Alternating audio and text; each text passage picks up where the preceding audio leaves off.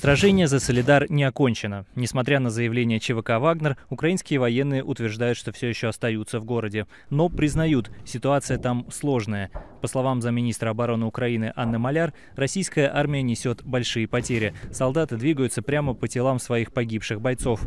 Только за последнюю неделю в районе Бахмута и Солидара произошли более 350 боевых столкновений. Вот как ситуацию на поле боя комментируют западные эксперты.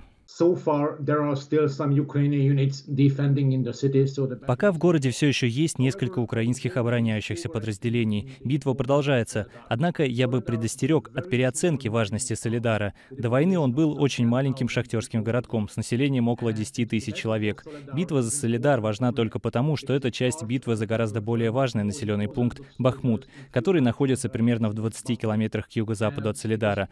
Русские пытались взять Бахмут в течение почти полугода, растратив тысячи солдат в бесполезных атаках на город. Теперь они пытаются окружить и отрезать Бахмут.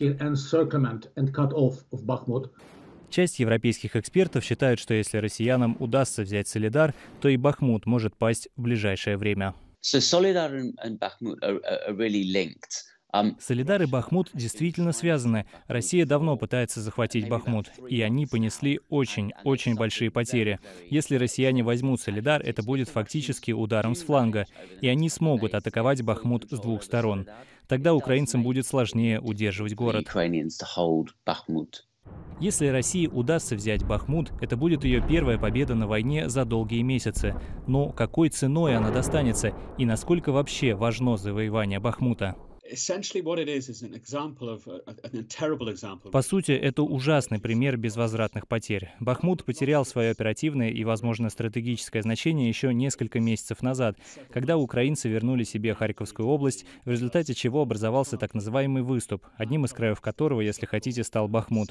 Таким образом, обе стороны вложили огромные средства в то, чтобы удержать этот город. Он находится на трассе, которая ведет к другим городам, Славянску и Краматорску, которые сильно укреплены.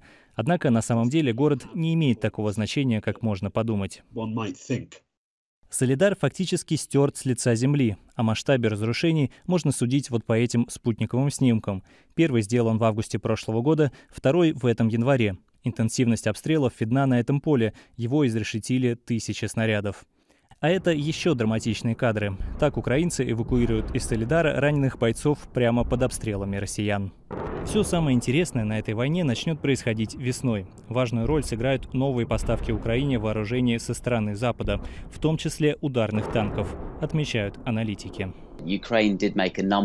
Uh, Украина действительно провела ряд контрнаступлений вокруг Киева, вокруг Харькова и Херсона на юге. ВСУ отвоевали у россиян большие территории. Что сделали россияне? Они сосредоточились только на одном районе вокруг Бахмута и Солидара, вели много войск в очень локальный район.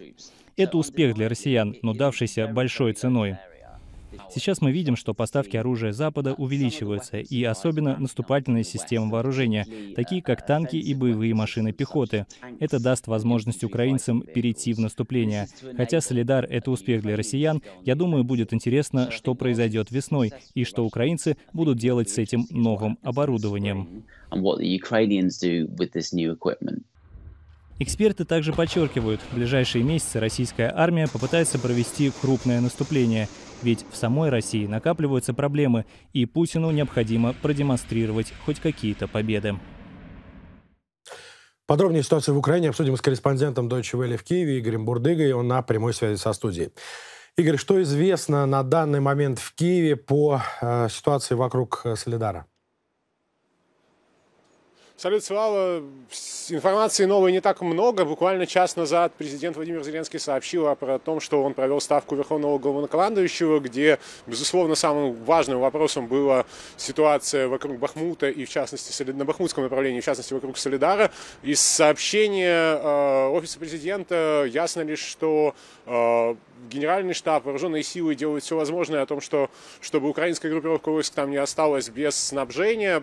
Э, там налажены каналы поставок и э, боеприпасов, и нового вооружения, и в частности, что вот э, наши читатели, зрители могли бы видеть у нас сюжет о том, что на Бахмутском направлении возле Солидара э, используются немецкие э, гаубичные установки. Но в целом, по сообщению Генштаба, ситуация остается достаточно э, напряженная и тяжелая. Но даже из сообщений российской армии, насколько мне понятно, сегодня уже э, ясно, что российские войска, вооруженные силы, те, которые там используются, они не э, удерживают город под прямым контролем. Э, по-моему, ТАСС э, несколько минут назад сообщал о том, что в западной, в западной части города все, все еще продолжают э, находиться, э, держать оборону вооруженные силы Украины. Слава. Игорь, в России утверждают, что в результате боев за Солидар украинская армия понесла очень большие потери. Понятно, что в Украине введены ограничения в информационной сфере, обусловленные военным положением, но все же есть ли действительно какие-то данные по этому поводу? А, ну, послушай, украинское э, командование также говорит, что российская армия несет большие потери на Бахмутском направлении, в частности, под Солидаром. Те военные, с которыми мне удавалось поговорить там буквально за последние недели, кто вернулся оттуда с передовой, говорят, что э, российская армия, или точнее э, ЧВК Вагнера, которая там совершает основные наступательные действия, использует достаточно такую стрёмную тактику, наступая э, большим количеством малых групп, э, Россия за такую армейскую форму формулировку и не жалеет людей, и атаки э, именно пехотные происходят практически постоянно. Э, да, украинское э, командование не раскрывает потери, но тут, скорее всего, информация еще до нас доходит с, большим, с большой задержкой, потому что в районе Следара не работает связь, это ясные сообщения коллег, кто там сейчас находится, но судя по тому, что Генштаб действительно признает, что ситуация тяжелая, наверняка вооруженные силы несут там потери, более более того, Генштаб, сегодня представители Генштаба э, сказали даже, что некорректно э, оценивать, наверное, там по площади или по количеству зданий как-то ту площадь, которую украинские войска все еще удерживают в Солидаре. Так что вот такая ситуация, Игорь, основные бои ведут сейчас в районе Солидара, на Бахмутском направлении. А что на других участках фронта?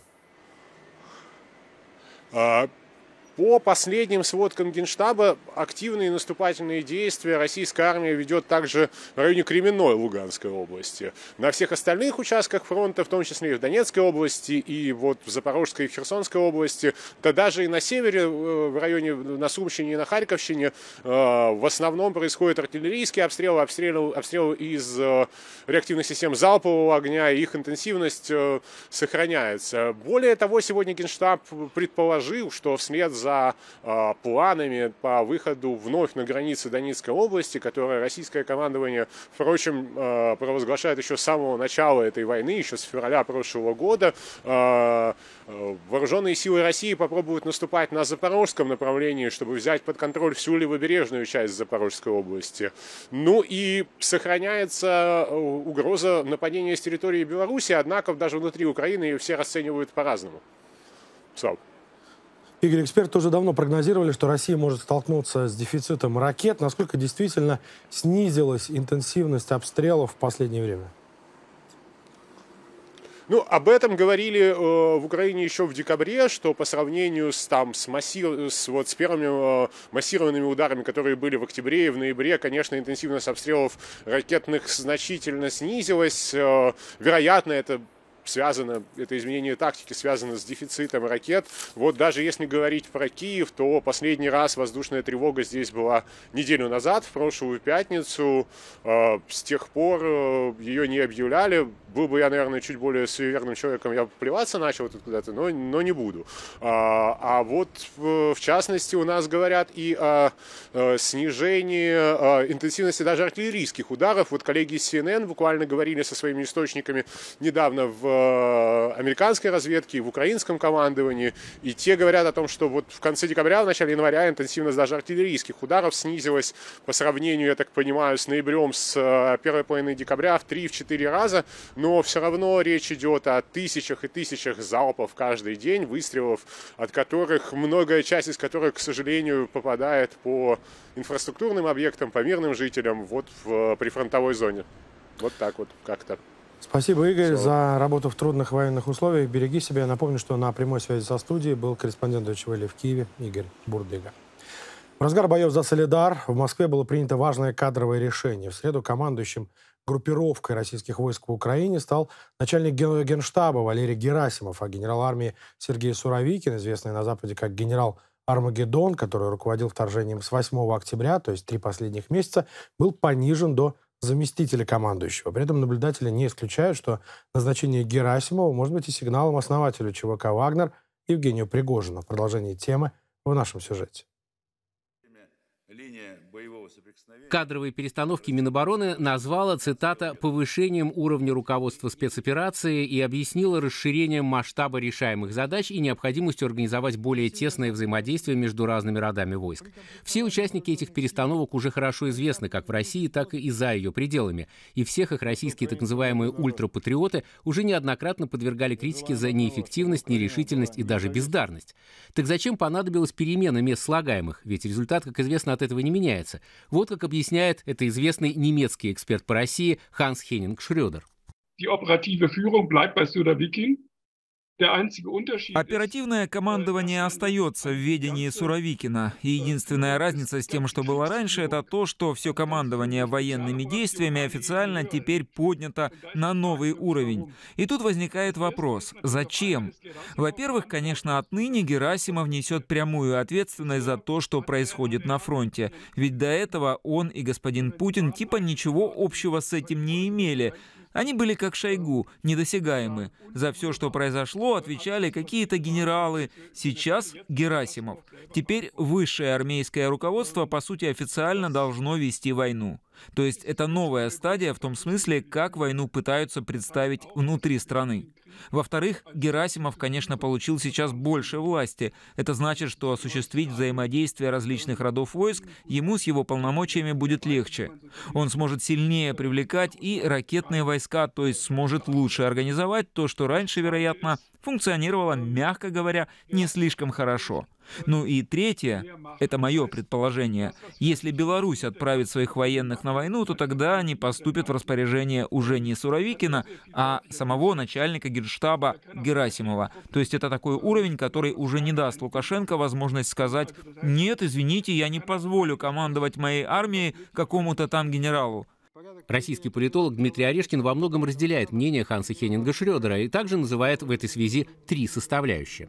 Первое и, наверное, важнейшее с точки зрения Путина – это попытка перетряхнуть, стимулировать, обновить руководство э, операцией, э, нагрузить персональной ответственностью господина Герасимова, э, повысить статус этой самой специальной военной операции, которую уже давно все называют войной, и к этому, если можно, я вернусь через несколько минут.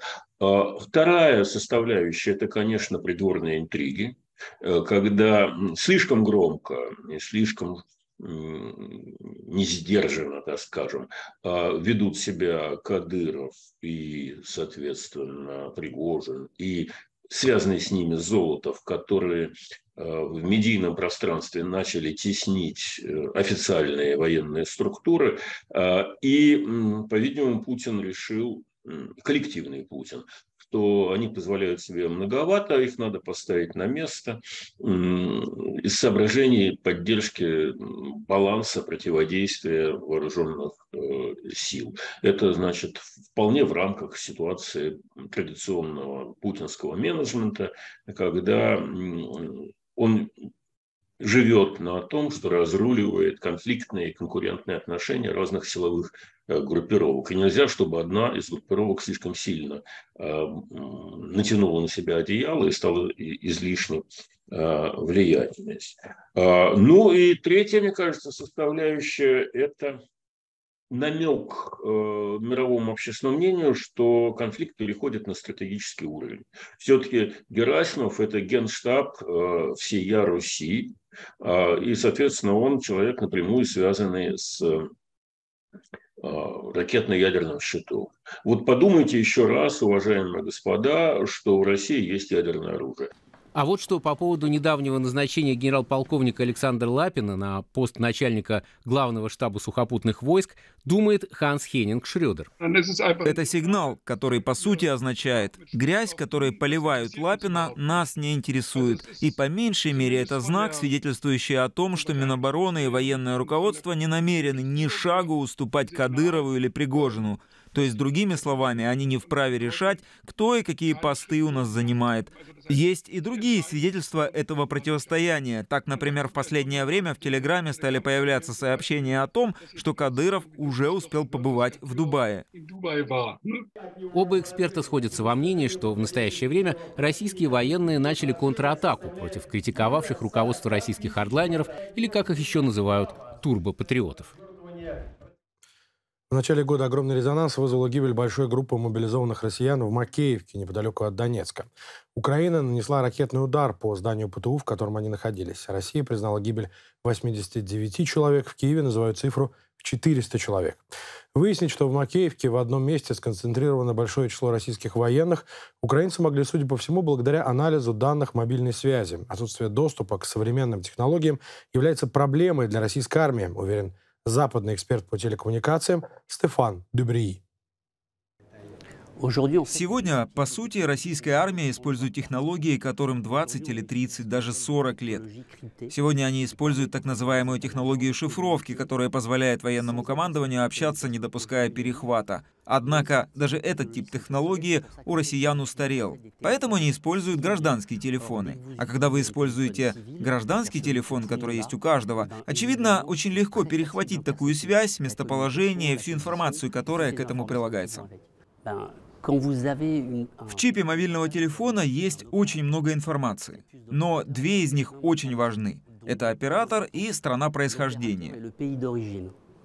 Если я россиянин, который прибыл в Украину и начинаю общаться в украинской сети, оператор сети сразу понимает, что этот чип не местный, он из другой страны. Это первая возможность выявления. Вторая — это геолокация, которая позволяет, поскольку у нас много информации в сети, узнать, где находится человек или даже из какой он страны. В украинской сети поняли, что там, в Макеевке, была аномальная концентрация иностранных российских чиповых коммуникаций. А затем им пришлось провести геолокацию, чтобы понять, что ошибка России в том, что она сконцентрировала группу людей в одном месте. Напомню, что все иностранные войска и спецслужбы запрещают пользоваться личным телефоном на поле боя.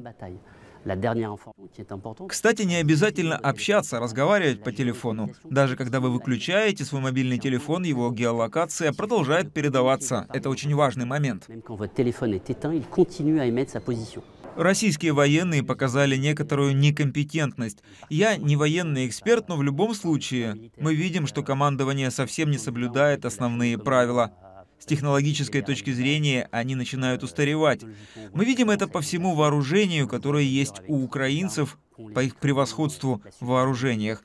Поэтому возникает вопрос, является ли это исключением или это глубоко укоренилось во всей системе командования, что было бы очень тревожно, потому что это означало бы, что случившееся в Макеевке, скорее всего, скоро повторится в еще более значительных масштабах.